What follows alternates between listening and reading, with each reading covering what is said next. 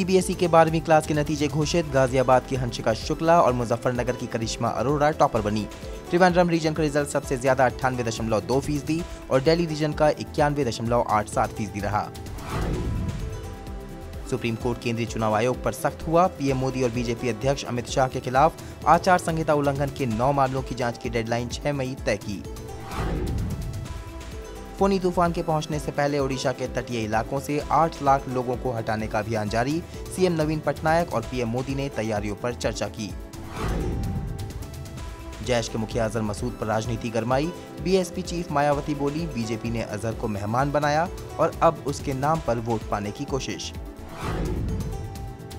भोपाल से बीजेपी उम्मीदवार साध्वी प्रज्ञा ठाकुर के विवादित बयानों पर चुनाव आयोग सख्त, चुनाव प्रचार पर बहत्तर घंटे का बैन लगाया।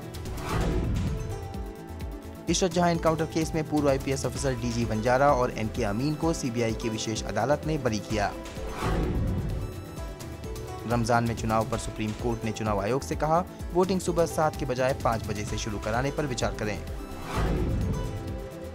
और आईसीसी की सालाना रैंकिंग में भारत की बादशाहत कायम, भारत टेस्ट में और इंग्लैंड वनडे में टॉप पर।